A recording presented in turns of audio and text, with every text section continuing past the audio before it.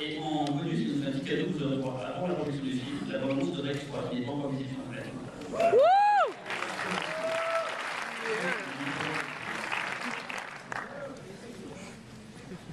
Bonsoir.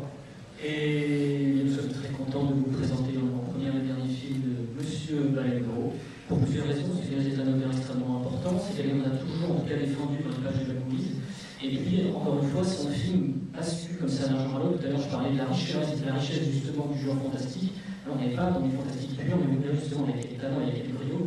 Euh, Monsieur Balagro manie les ruptures de ton. Et vous verrez qu'il va vous plonger dans une espèce d'ambiance assez poisseuse et suffocante, ancrée dans un quotidien, à mon avis, dans lequel vous allez pouvoir vous, euh, vous reconnaître. Donc j'ai tout simplement appelé Monsieur Balagro pour qu'il présente un de nouveau son film Malveillance. Merci, euh, bonsoir encore. Euh, bon, c'est très bien de spécifier, peut-être que vous avez spécifié déjà, mais c'est très bien de spécifier Malveillance, c'est un film hors c'est c'est important de.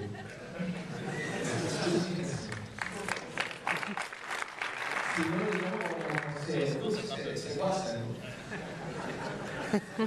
alors, euh, merci beaucoup pour, ce, paroles. Et vraiment, euh, Malveillance, c'est un film très spécial pour moi, parce que peut-être c'est un film complètement différent de ce que j'avais fait euh, avant.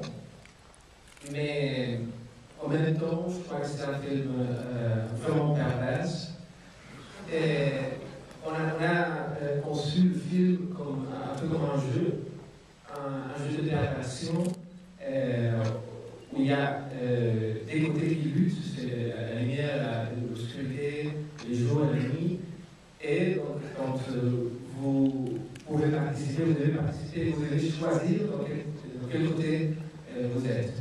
Et c'est pas facile, crois, mais en tout cas, j'espère que vous allez vous amuser. Et merci beaucoup.